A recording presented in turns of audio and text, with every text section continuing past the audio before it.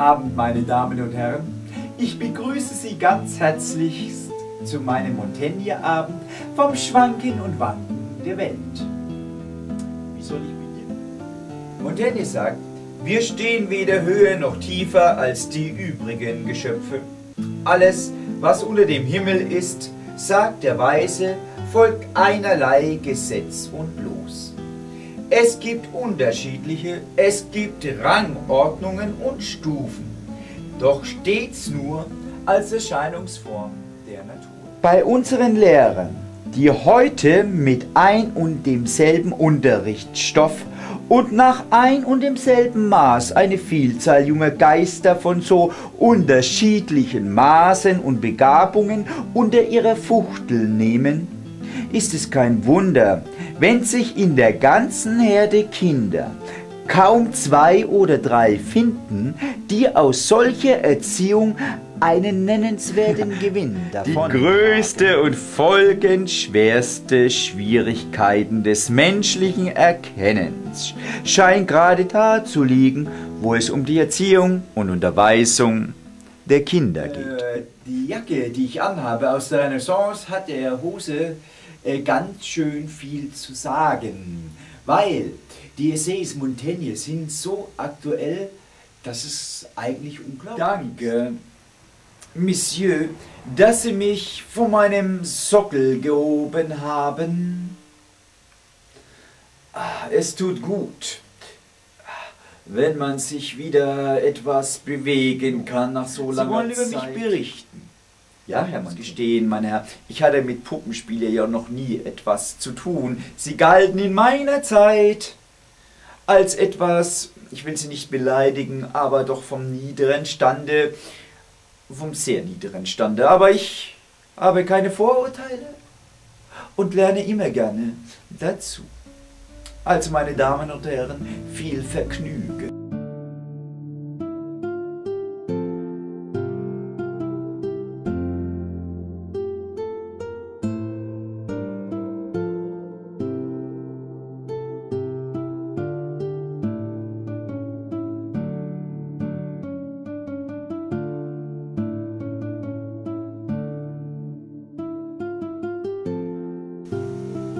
Philosophieren heißt sterben lernen.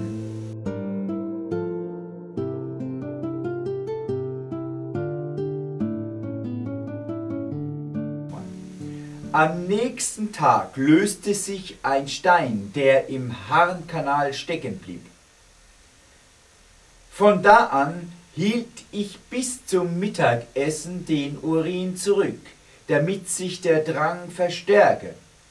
Und so konnte ich den Stein schließlich ausscheiden, unter Schmerzen und ziemlichem Blutverlust, vorher wie nachher.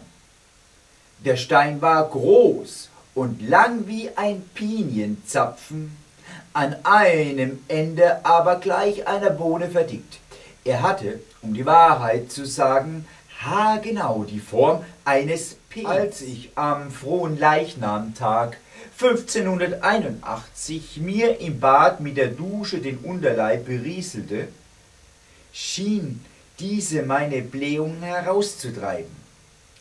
Auch ging eindeutig die Schwellung meines rechten Hodens zurück, an der ich ziemlich oft leide. Daher bin ich mir ziemlich sicher, dass diese Schwellung von den Fürzen herführt, die sich im Hoden verfangen.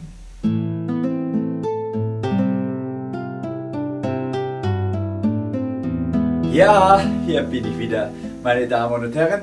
Und wie Sie sehen, habe ich mich etwas tiefer in die Renaissance gestürzt.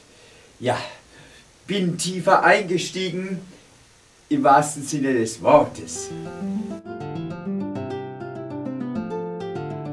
Im Grunde sind Frauen entzückende Wesen, die uns sehr schlecht behandeln und uns Narren an der Nase herumführen Sie fordern dazu heraus, in ihrer wahren Natur verkannt zu werden.